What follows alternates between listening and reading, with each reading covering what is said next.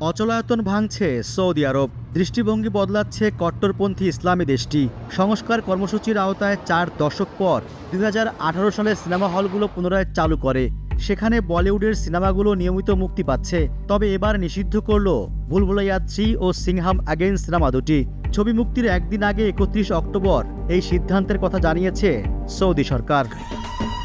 Pink ভিলার প্রতিবেদনে বলা হয়েছে Saudi review committee Bhool Bhulaiyaa three ও সিংহাম অ্যাগেন ছবি দুটি সম্পর্কে অভিযোগ এনেছে যে দুই ছবি হিংসা ও যৌনতায় ভরপুর।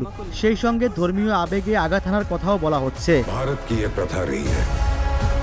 সূত্রের বরাত দিয়ে ভারতের অন্যান্য গণমাধ্যমগুলো জানিয়েছে দুটি ভিন্ন ধর্ম নিয়ে সংঘাত দেখানো হয়েছে সিংহাম আগেইনে অন্যদিকে ভুল ভুলাইয়া থ্রিতে নাকি ছোঁয়া হয়েছে সমকামী ভালোবাসার গল্প। তবে শুধু বলিউডের এই দুই ছবি নয় দক্ষিণী ছবি আমরণকেও নিষিদ্ধ ঘোষণা করা হয়েছে। সৌদিতে নিষিদ্ধ হলেও ভারত জুড়ে সিনেমা দুটি ঘিরে চলছে উন্মাদনা। অগ্রিম টিকিট কিনতে দর্শক হুমড়ি খেয়ে পড়ছেন অনলাইনে।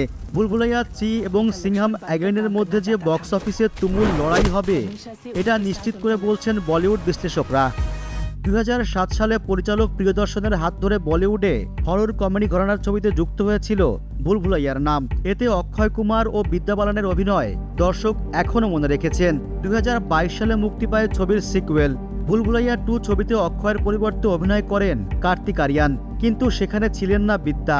অন্যদিকে দুই হাজার এগারো সালে অজয় দেবগন অভিনীত সিংহাম ছবির মাধ্যমে কপ ইউনিভার্সের সূচনা করেছিলেন পরিচালক রোহিত শেঠি।